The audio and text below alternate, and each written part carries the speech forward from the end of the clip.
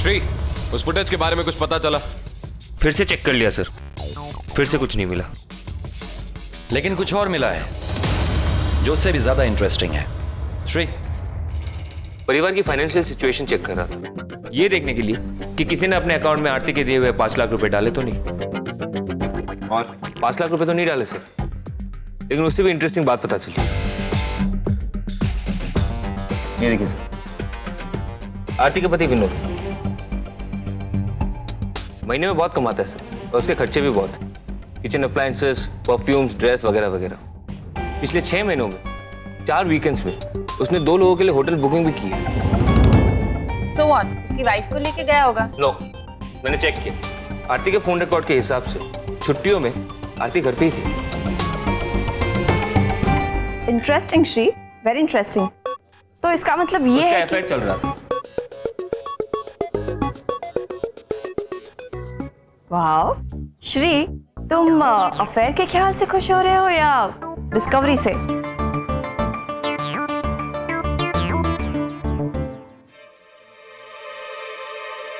अब क्या प्रॉब्लम है विनोद? तुम्हारी प्रॉब्लम तो सॉल्व हो गई ना? शी इज़ डेड टीना तुम समझती नहीं हो। अभी मामला गर्म है। अगर हमने कुछ भी गलत किया ना तो सारा का सारा शक हम पे जाएगा।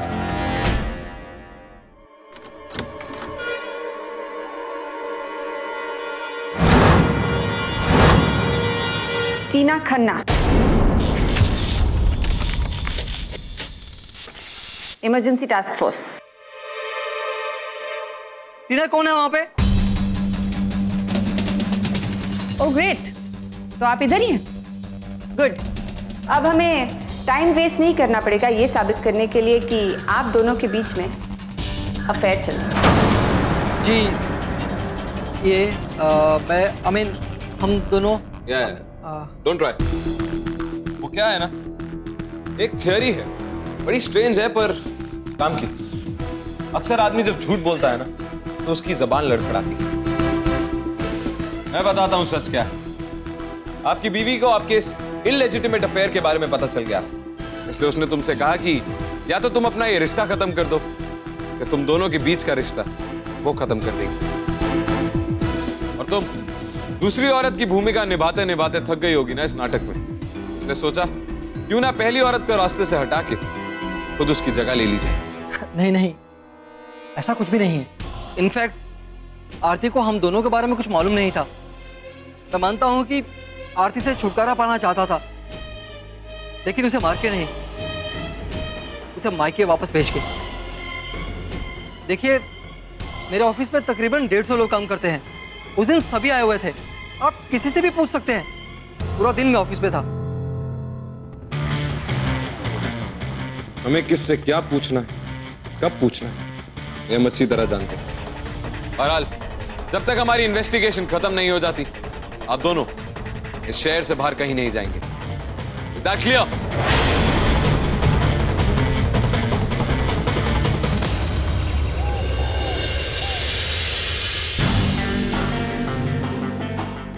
श्री उस चेक नाके की फुटेज का क्या हुआ? सर मैंने फिर से चेक किया है। कोई भी कार रिक्शा या कोई भी व्हीकल पे वो नहीं है। उसके बैंक से निकलने के तीन घंटे बाद की फुटेज तक देखी। उसके मौत होने तक। मैं उस सारी फुटेज को एक बार फिर से देखना चाहूँगा श्री राइट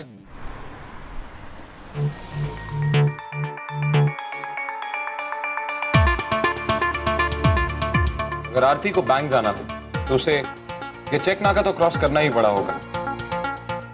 क्योंकि और कोई रास्ता नहीं राइट लेट्स कंटिन्यू प्ले करो।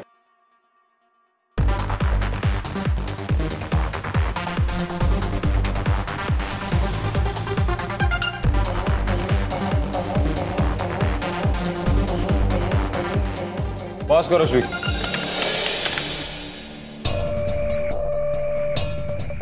श्री in.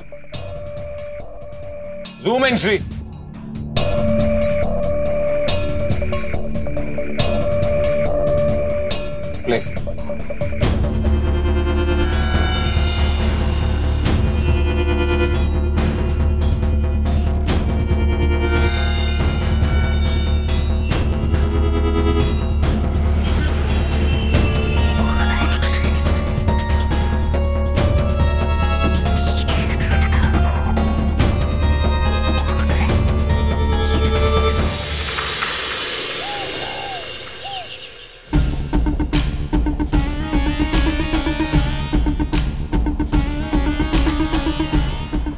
करो श्री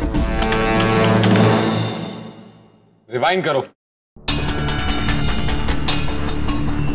बस पॉज करो। जूम इन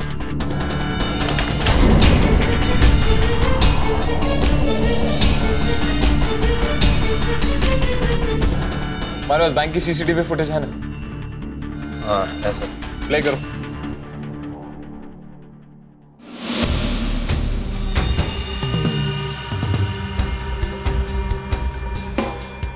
स्लो मोशन में।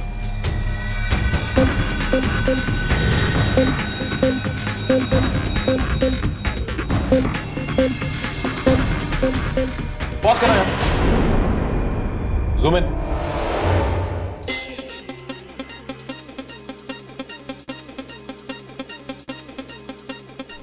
दोनों काज में एक ही जैसा डेंट है।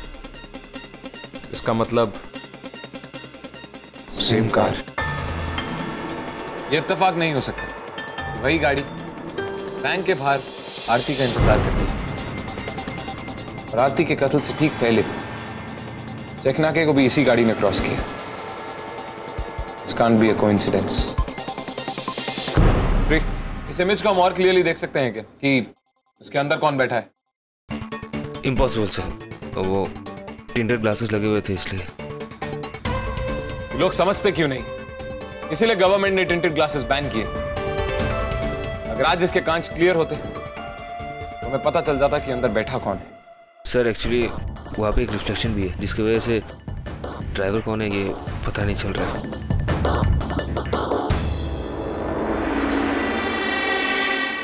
इसके नंबर प्लेट पे जूम इन करो श्री,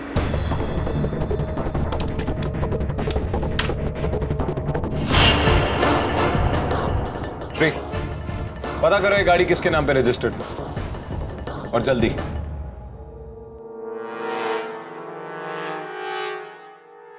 फुटेज से कुछ और मिला राउते हाँ राठौड़ एक गाड़ी के बारे में पता चला। है लाल मारुति 800 है टिंटेड ग्लासेस के साथ। मैंने श्री को बोला है कि इसकी इंफॉर्मेशन निकाले। कि वो किसके नाम पे रजिस्टर्ड है और कहाँ की रजिस्ट्रेशन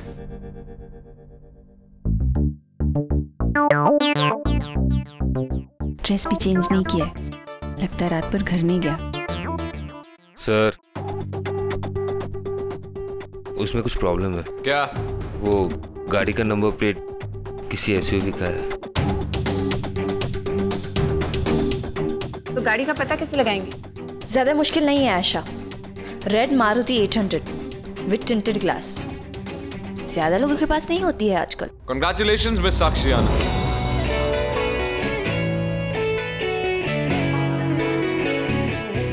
किस लिए? आपने अपनी पूरी ज़िंदगी में पहली बार समझदारी की बात जो की। छोटू, इस शहर में जितनी भी लाल मारुति 800 है टिंटेड ग्लासेस के साथ, मुझे उन सबकी डिटेल लिस्ट चाहिए। गाड़ी के ओनर का नाम, गाड़ी कहाँ रजिस्टर्ड है, सारी इंफॉर्मेशन और हाँ श्री को अपने साथ ले जाना, क्योंकि इंफॉर्मेशन मुझे जल्द से जल्द चाहिए। चलो बेटा श्री, अपनी मॉर्निंग शिफ्ट शुरू हो गई।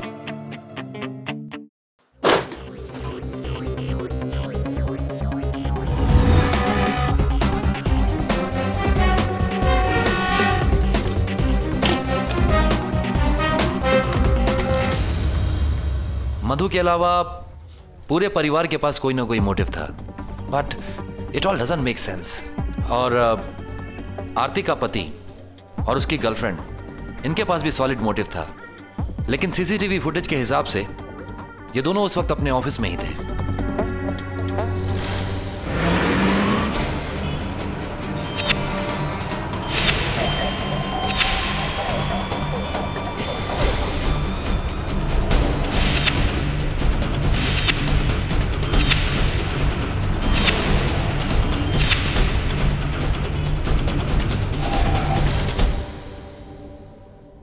मधु पार्लर में थी।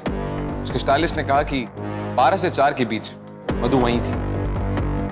लेकिन आरती के इन लॉज तो घर पे शाम की सेरेमनी में लगे हुए थे। तो फिर कातिल कौन है? सबको पता है कि आरती बैंक गई थी। तो मौका तो था।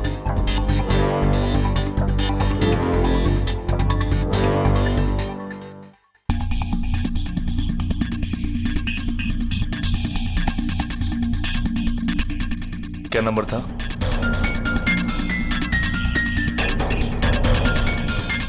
क्या नंबर था?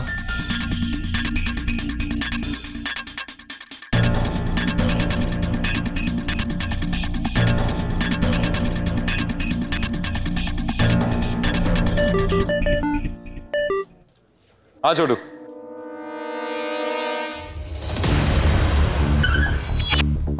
सर गाड़ी मिल गई। तुम्हें कैसे पता ये वही गाड़ी? क्योंकि सर किसी ने नंबर प्लेट के साथ छेड़खानी की। और ऐसा लग रहा है कि नंबर प्लेट अभी अभी बदल दी गई। और सर डेंट वैसा ही है जैसा हमने देखा है और टिंडेड ग्लासेस भी है। गाड़ी की नंबर प्लेट उतारी थी। नहीं नहीं सर। अच्छा तो फिर एक बात बताओ यही सेम गाड़ी बिल्कुल इसी जगह टेंट सिर्फ़ किसी और नंबर के साथ तीन दिन पहले आर्य कॉलोनी में कैसे घुसी? सर तीन दिन पहले तो गाड़ी मेरे पास थी नहीं। मेरा एक दोस्त ले गया था। कौन सा दोस्त? प्रभात साहू। हाँ। इमरजेंसी टास्क फोर्स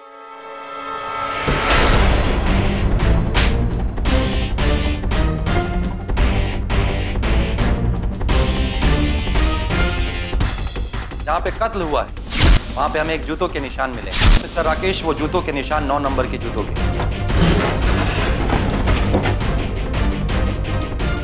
एक सवाल पूछूँ? हाँ। ये जो तुम्हारे जूते हैं। इनके निशान अगर मैं उन आरती की बॉडी के पास जूते के निशान थे इन दोनों को मिलाऊं तो क्या होगा? ये मैं कैसे बताऊँ? सवाल एक बार फिर से पूछता अगर इन जूतों के निशान मिलाए जाए तो मैच होंगे।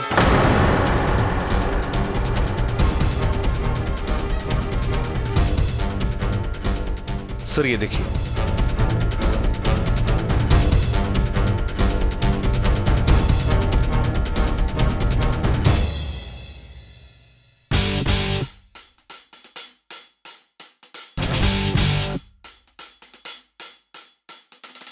साक्षी तुम्हें मेरा एक काम करना होगा लेकिन इस बार बिना किसी गड़बड़ के।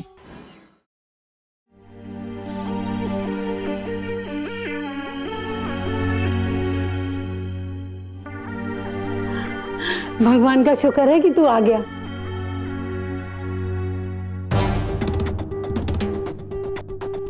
कुछ मिला आप लोगों को? कुछ नहीं बहुत कुछ मिला है। वैसे भी आपके परिवार में कुछ की तो डेफिनेशन ही कुछ और है। एक दो जुर्म करके आप लोगों का पेट कहाँ भरता है? इस परिवार में कौन नहीं? झूठे ब्लैकमेलर्स फरेबी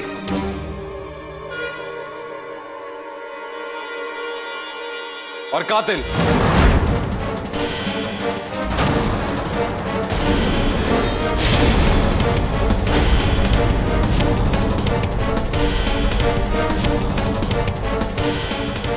ये ये क्या कह रहे हैं आप? वही जो आप सुन रही। तुम्हें क्या लगा था? हमें कभी पता नहीं चलेगा। इसे पहचानती हैं आप?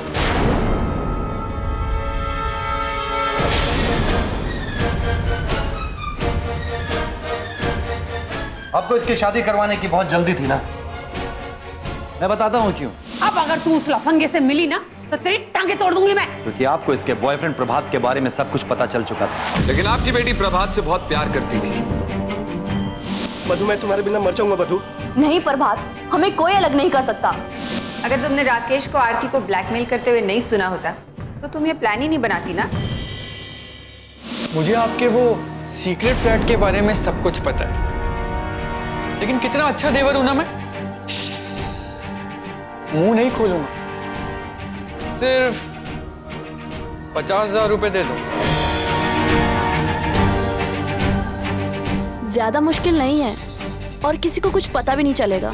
हम इस तरीके से करेंगे। मम्मी और भैया दोनों डाउरी के केस में अंदर जाएँगे। बचे राकेश भैया वो भाभी को ब्लैकमेल करने के चक्कर में अंदर जाएँगे। बाहर रहेंगे तो सिर्फ़ मैं और तुम।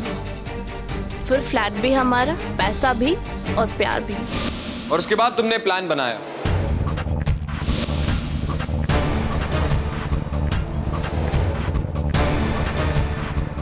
राकेश के फ़ोन से आरती के फ़ोन पे एक एसएमएस किया।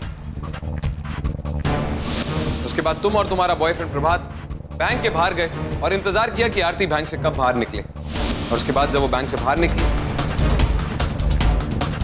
तुम लोगों ने उसे लिफ्ट ऑफ़र की भाभी आओ ना बैठो। मधु आओ बैठो। और फिर तुम दोनों ने उसे नशे की दवाई खिलाई। भाभी आपको एक गुड न्यूज़ देनी है। क्या गुड न्यूज़ है? अच्छा चलो पहले आप मुँह मीठा कर लो। ओफो तुम भी ना? जिससे तुम्हारा काम बहुत ही आसान हो गया। भाभी?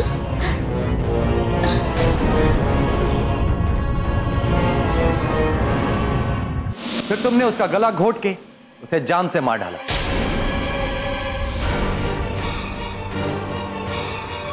और वो बेचारी बेहोशी की हालत में कुछ भी नहीं कर पाई। फिर तुमने इस कत्ल को लूट मार की शक्ल देने की कोशिश की। उसके गहने और पैसे लूटे और प्रभात ने उसकी लाश को फांसी के जंगल में ले जाके फेंक दिया। तुमने उसका फ़ोन उसके बैग के अंदर वाले पॉकेट में छुपा दिया।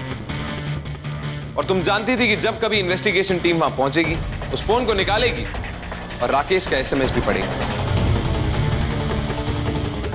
तो असल में तुम ही ने भेजा ये सब झूठ है। मैंने ऐसा कुछ नहीं किया है। मैं तो पार्लर गई हुई थी। चाहे तो किसी को भी पूछ लो। मैं ऑलरेडी पता कर चुकी हूँ। वैसे पार्लर वाला टच अच्छा था।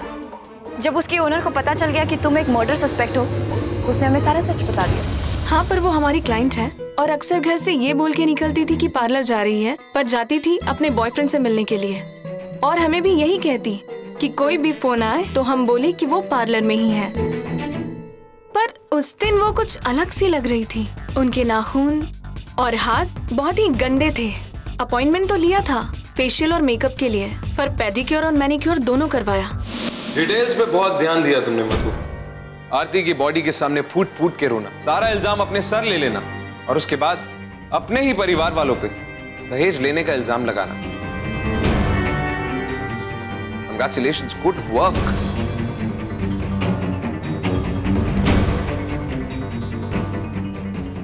लेकिन क्या है ना, मधु? सच की एक प्रॉब्लम है। कितना भी छुपा लो, सच कभी नहीं छुपता।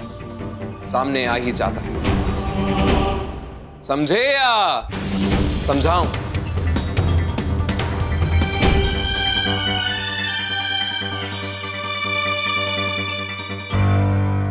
क्यों मधु? क्यों किया ऐसा तूने? आरती तुम्हें ननद नहीं, अपनी बहन मानती थी ना?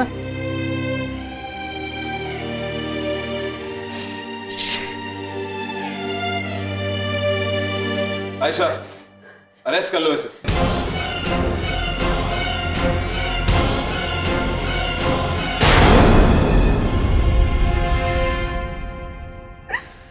स्टॉप इट मैं प्रभात के बिना नहीं जी सकती। मैंने जो किया अपने प्यार के लिए किया। प्यार करना गुनाह है क्या? नहीं जान लेना गुनाह है।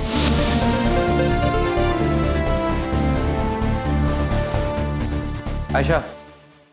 चलो बहुत हो गया ये नाटक।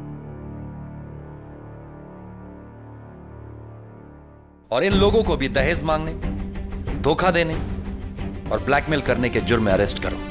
ले चलो इन सबको। आपके